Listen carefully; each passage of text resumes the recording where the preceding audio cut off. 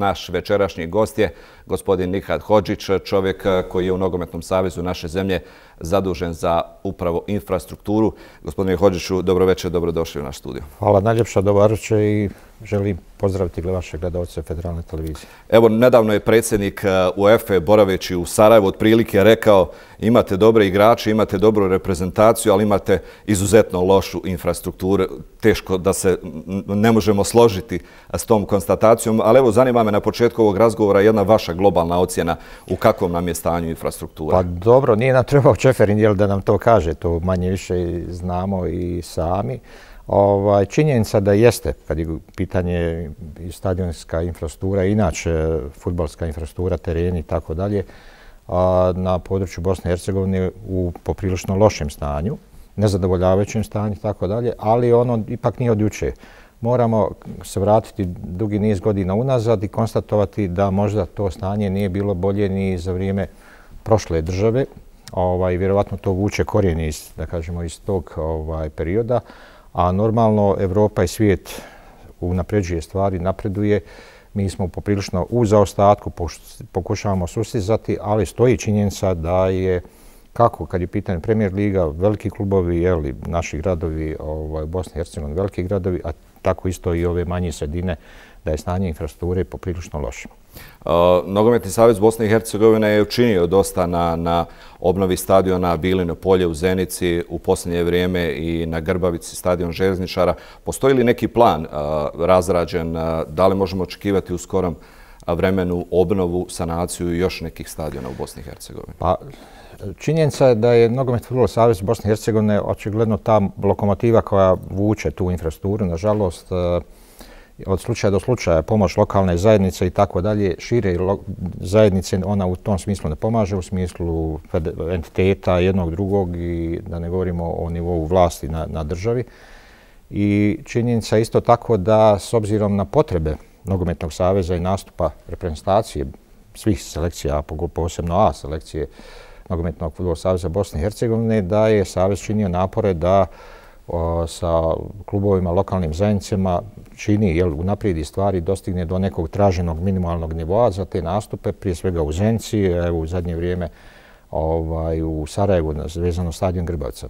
Savez će i dalje činiti, e, ne samo vezano za nastup e, reprezentacije, reprezentativnih selekcija, nego i za nastup od određenih stadiona, za nastup klubova u klubskim evropskim ovaj, takmičenjima, pa vjerovatno ćemo u tom smislu u određenom periodu i kroz odluke izvršnog odbora vjerovatno određeni dio sredstava gledati da usmjerimo prema stadionu Mostaru, Sarajevu, Banja Luci i tako dalje, vezano da i onako regionalno pomognemo taj dio eh, klubova, to je stadiona. Eh, kad već spominjete reprezentaciju eh, u regionu, u Hrvatskoj pogotovo se ovih dana ne dana, nego mjeseci i godina, rekao bih, vodi polemika o tome treba li graditi nacionalni stadion. Dakle, Hrvatska koja ima mnogo više primanja kad je savez u pitanju nego Bosna i Hercegovina. Razmišljali se u našem savezu o, o nekom nacionalnom stadionu? Imamo stadion Asim Ferhatović Hase koji je najveći stadion. Pa evo, dobro ste pomenuli vezano evo susjedstvo. Znači, ovaj, Hrvatska koja je, kad je pitanju jel, futbal, nogomet, dostigla vrh biti drugi u svijetu ovaj, za tako malu državu kao što je Hrvatska ili kao što je Bosna i Hercegovina, to je planetarni uspjeh.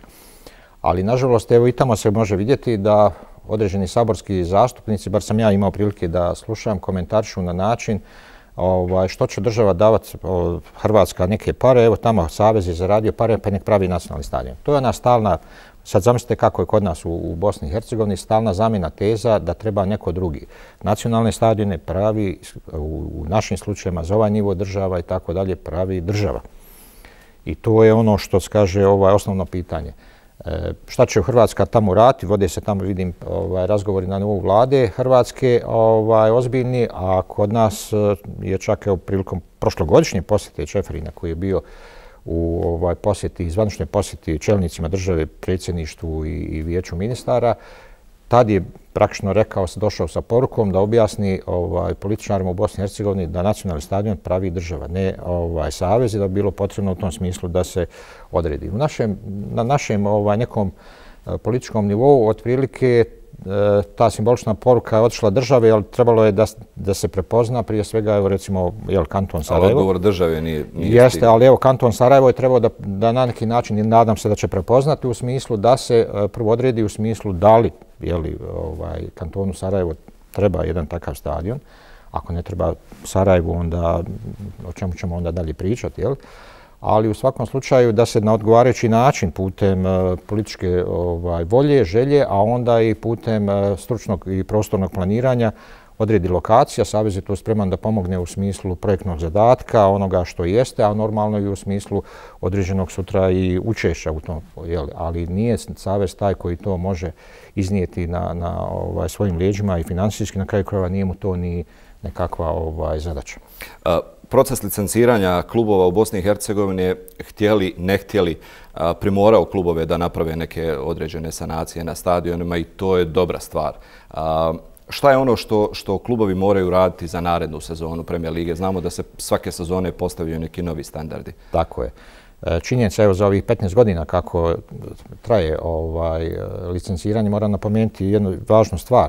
E, licenciranje je obavezujuće za nivo nastupa u ovaj UEFA-inim međunarodnim ovaj takmičenjima kako za Evro, Evropa ligu tako i za ligu šampiona ali već davne 2003. Nogometni Futbol savez Bosne i Hercegovine je uveo sistem licenciranja i za premijer ligu ovaj u tom smislu upravo sa ciljem da se stvari postepeno kao jedan proces unapređuju.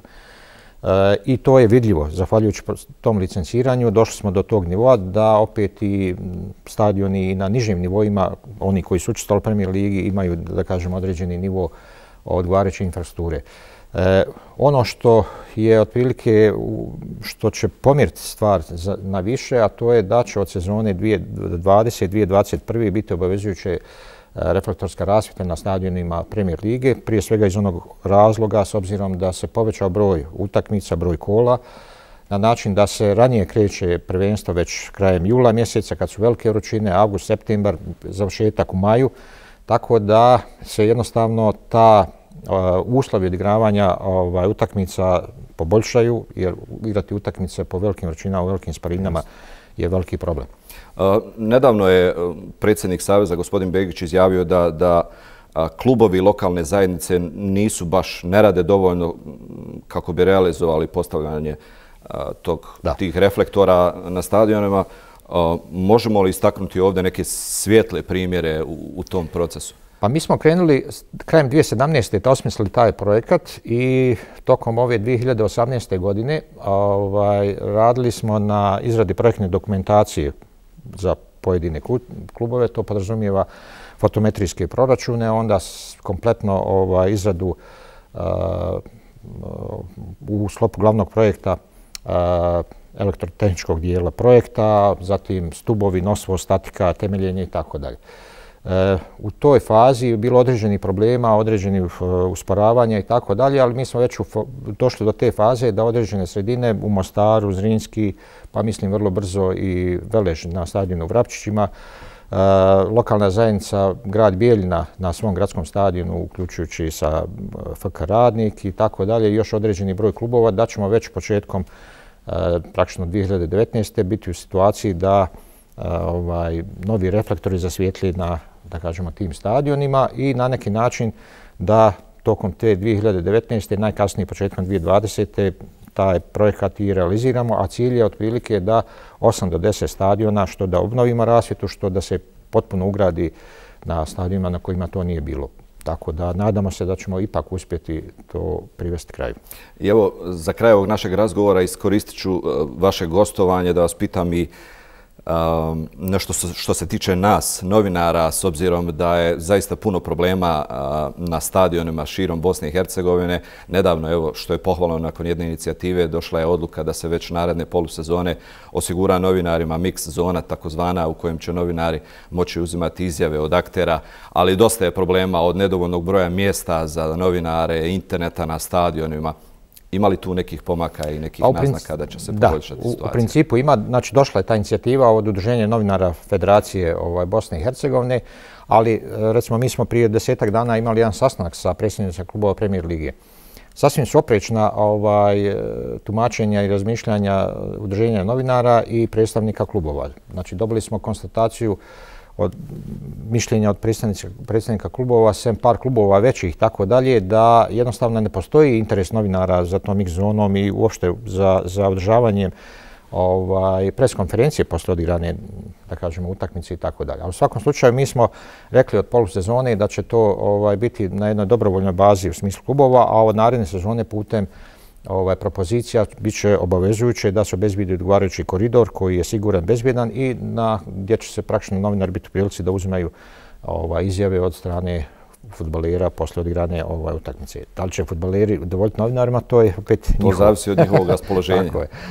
Gospodine Hođiću, hvala vam puno na gostovanju u našoj emisiji. Hvala i vama.